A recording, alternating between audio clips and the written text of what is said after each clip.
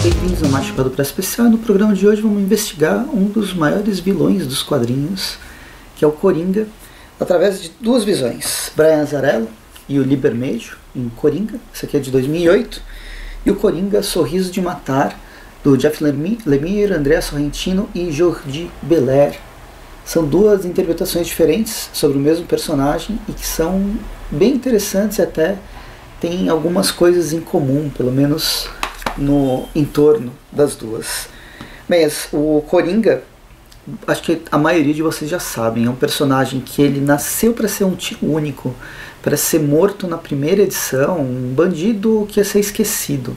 Ele foi inspirado naquele naquele personagem, O Homem que Ri, que é do é um filme do movimento expressionista alemão, alemão de 1928 e bem tem toda aquela cara de um palhaço aquele rosto bastante é, bastante marcado com uma cicatriz enorme e a sua a sua indumentária tem a ideia do palhaço já que é uma, uma figura tanto de alegria infantil quanto de medo da, dos adultos. É bem interessante a figura do palhaço em várias em vários filmes de terror a gente vê uh, ele sendo trabalhado, mas é, é o lance do dramático da pessoa que faz rir, mas que na verdade está sofrendo, morrendo praticamente por dentro.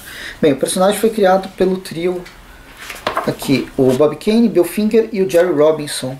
E aí ele foi criado no Batman número 1, né, 1940, quando o Batman ganha a sua primeira mensal, além da Detective Comics que ele tinha sido criado.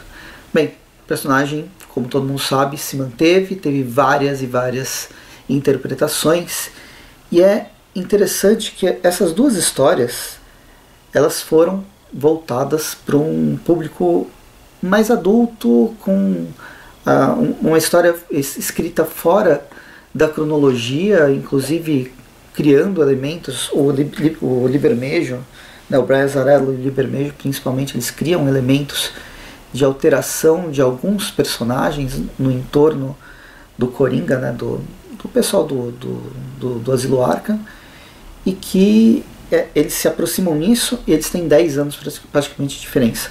A primeira é de 2008 e essa outra é de 2019. E o que, que a gente tem em 2008 e 2019 é uma coincidência, ou talvez não tão coincidência, muito interessante. Que assim, a adaptação do personagem a gente tem várias, várias icônicas, desde os anos 60, tem lá do, do Batman, de, o Batman do Adam West, que é uma, um Batman de comédia, tem os, as, as animações, em especial o Batman dos anos 90, do Tim, do, do Bruce Timm, e o, Bat e o Coringa do Tim Burton, de 89. Mas em 2008 e 2019 a gente tem duas grandes é, marcas e é, momentos que se transformaram em ícones para o personagem do Coringa. Em 2008 a gente tem O Cavaleiro das Trevas, o segundo filme do, do Christopher Nolan, já tinha esquecido o nome do, do diretor, mas o segundo filme do Christopher Nolan que foi interpretado pelo Heath Ledger, que por muitos é considerado o melhor filme do Batman. É um filme bem legal mesmo. É uma interpretação muito interessante do Coringa e também foi, ficou marcado porque o Heath Ledger morreu logo depois desse filme. E se vocês forem ver, não é um, um não estava copiando o outro porque eles estavam fe sendo feitos ao mesmo ao mesmo tempo.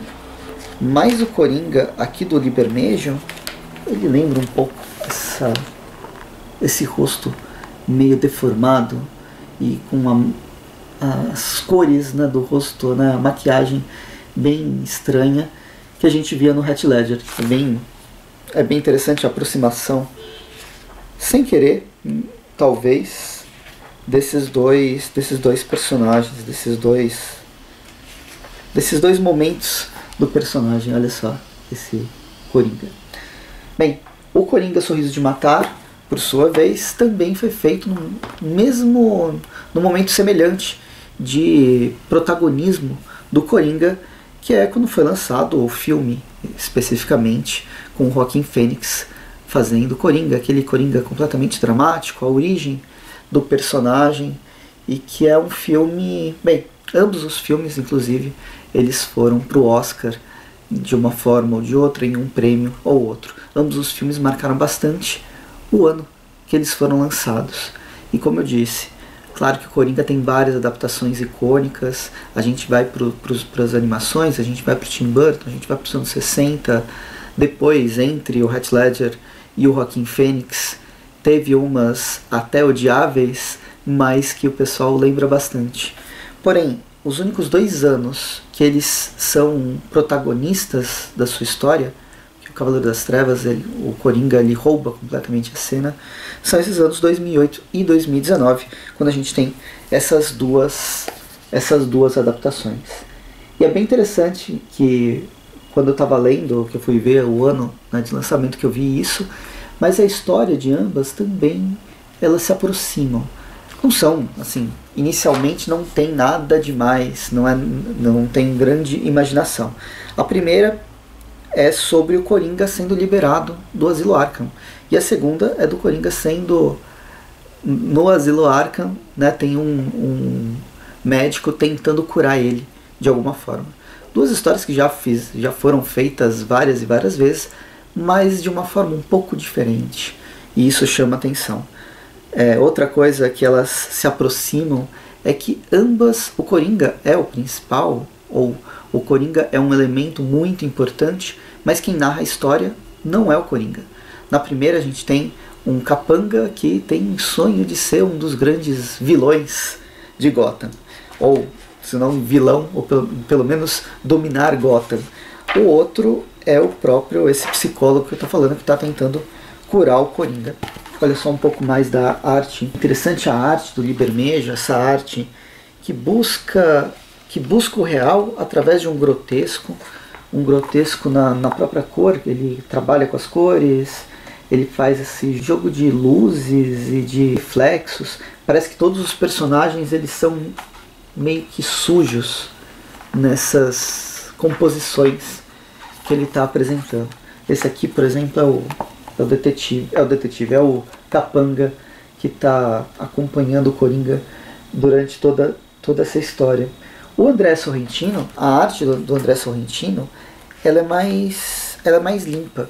Olha só um pouco mais da, dessa arte suja, realista. Ela é mais limpa e mais cartunesca, ou na verdade parece um pouco rotoscopia, aquelas técnicas de rotoscopia. Olha só. A gente tem inclusive um Coringa muito mais autocentrado, um rosto mais calmo. Ele está pronto para enganar e conquistar a opinião de qualquer um, de quem está condenando, de quem está tentando curar ele e de quem está ten tentando ler a história. É um personagem bastante sorrateiro e que dessa forma, se eu estou fazendo ligações com o filme, Nessa, a história acaba se distanciando.